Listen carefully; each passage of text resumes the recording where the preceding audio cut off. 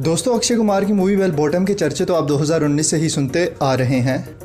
Latest update ये है कि इस मूवी से जुड़ी दो पिक्चर्स आउट हो चुकी हैं जिन्हें आप स्क्रीन पर देख सकते हैं। और इस मूवी की शूटिंग भी स्टार्ट होने वाली है।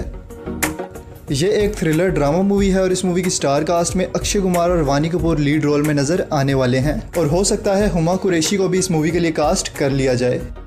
बात करें इस मूवी की स्टोरी की तो ये मूवी एटीज़ के कुछ इवेंट्स और उनसे जुड़ी एक रॉबरी पर बेस्ड है।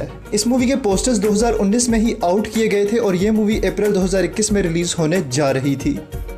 बट अक्षय कुमार की वर्किंग परफॉर्मेंस को देखकर ये एक्सपेक्ट किया जा सकता है कि ये मूवी अभी भी अप्रैल 2021 में ही रिलीज़ की जाए। वेल गाइज़ ये थी बॉलीवुड की एक लेटेस्ट अपडेट अगर आप ऐसी वीडियोस देखना पसंद करते हैं तो इस चैनल को सब्सक्राइब कर लें और बेल आइकन प्रेस करना ना भूलें। Thanks for watching